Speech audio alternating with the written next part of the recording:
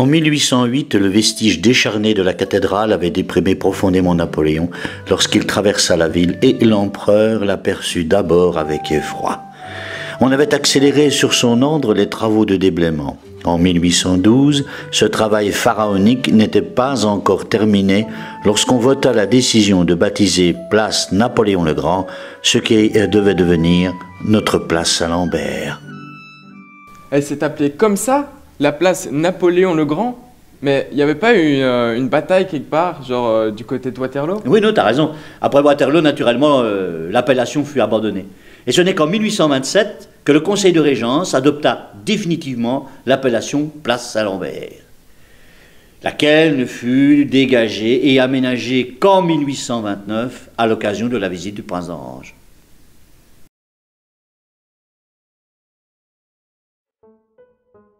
Puis vint l'indépendance du pays, et au sein désormais d'une Belgique conservatrice et bourgeoise, s'installait une révolution permanente, industrielle celle-là. Le pays s'enrichit, s'équipa et se transforma. La place Saint-Lambert témoigne au fil du temps de ces mutations spectaculaires. Les transports en commun, puis l'électrification, enfin les automobiles, sans oublier le passage tonitruant de ces orages planétaires que furent les guerres mondiales.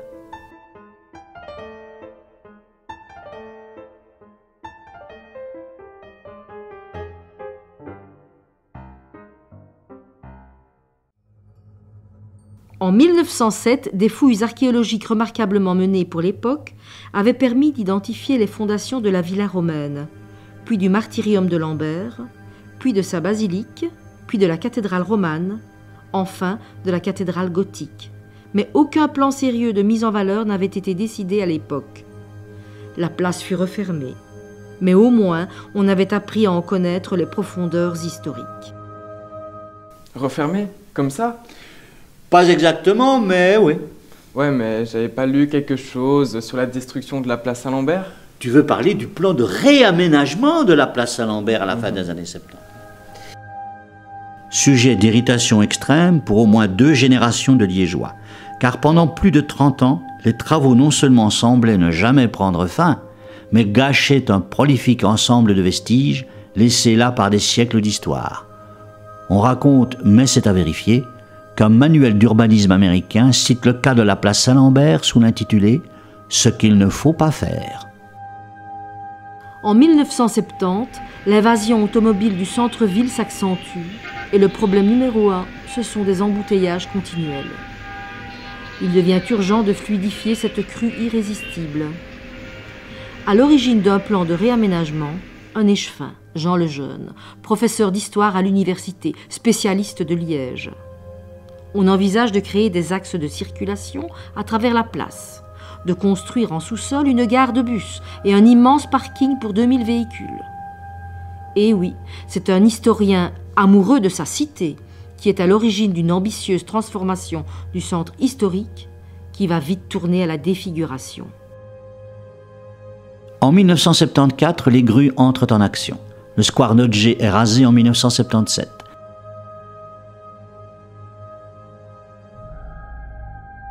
La gare du Palais est réaffectée et des immeubles, parfois fort anciens, qui entourent la place, sont l'un après l'autre abattus.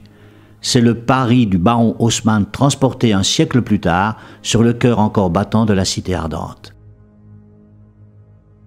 Une imposante gare de bus souterraine, en partie réaménagée plus tard en parking sous l'îlot Saint-Michel, absorbe des tonnes de béton. Sur la place elle-même, site historique, d'importantes fouilles conservatoires sont entreprises. Elles durent jusqu'en 1984, mais sont interrompues pour rendre la place plus présentable au pape Jean-Paul II, venu saluer la cité catholique. Au gré de ces coûteuses démangeaisons bâtisseuses, dès 1983, la ville de Liège est à court d'argent, avec une dette de 45 milliards de francs de l'époque. Certains projets, comme l'extension du palais de justice, sont abandonnés 12 années de suite, de 1986 à 1998. D'autres, transformés au gré d'erreurs, de procès de riverains ou d'aberrations comme ces deux cages d'ascenseurs de béton, éléments d'un immeuble qui ne sera jamais construit, et qui défigureront le paysage durant des années jusqu'à leur destruction, au soulagement des habitants. Les permis de construire sont paralysés par des procédures sans fin. Des projets sont abandonnés après les destructions et laissent pendant des années des plaies béantes qui dépriment la population. Donc euh, tout ça pour ces fichues bagnoles en fait. Eh oui, on voulait une ville dynamique et facile à vivre. Ah ouais, plutôt raté comme rêve futuriste, mais bon. Oui, on imagine volontiers que le pauvre Jean le Jeune, disparu en 1979, n'avait pu prévoir une pareille catastrophe. En 1998, on suivra finalement le plan d'aménagement de l'architecte Claude Strebel, voté en 1988 mais longtemps figé par les difficultés administratives et financières. Aménagement d'une gare de bus en surface, détournement du flux de circulation automobile pour laisser une vaste zone piétonnière devant les grands magasins. La place est pavée et devient piétonne. On constitue autour des vestiges historiques sauvés un musée conservatoire, l'Archéoforum.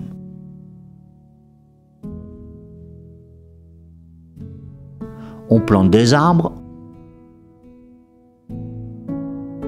on installe une fontaine. Enfin, à l'ouest, un nouveau quartier est construit sur l'emplacement de parking boueux, c'est l'îlot Saint-Michel qu'on aperçoit ici. La place Saint-Lambert et ses extensions finissent par retrouver un visage avenant et redeviennent un endroit à vivre au début de l'an 2000. Il était temps. 25 ans de boue et de chantier terminé Oui, difficile à croire, hein surtout en plein cœur d'une ville ancienne comme Liège. Et les gens, ils ont rien dit et ils ont laissé faire comme ça. Non, non, pas vraiment, mais comment résoudre le problème euh, du manque d'argent et de la paralysie due aux actions en justice? Hmm.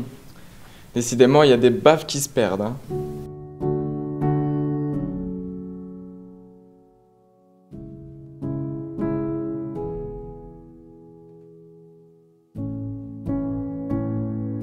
Les Liégeois garderont de cette période un douloureux souvenir et l'impression que leur ville a été inutilement et durablement défigurée. Les immeubles anciens, qu'on s'était gardé de classer, ont laissé la place à des ensembles modernes sans âme, ou, consternante aberration, à un parking de gravier blanc qui certes ouvre une perspective à l'est, mais avec la laideur froide d'une terre brûlée.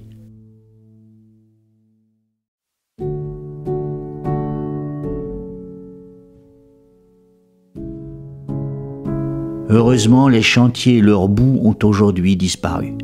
Le charme ancien s'est évaporé, d'accord, mais au moins la place Saint-Lambert bourdonne à nouveau de vie. C'est l'essentiel.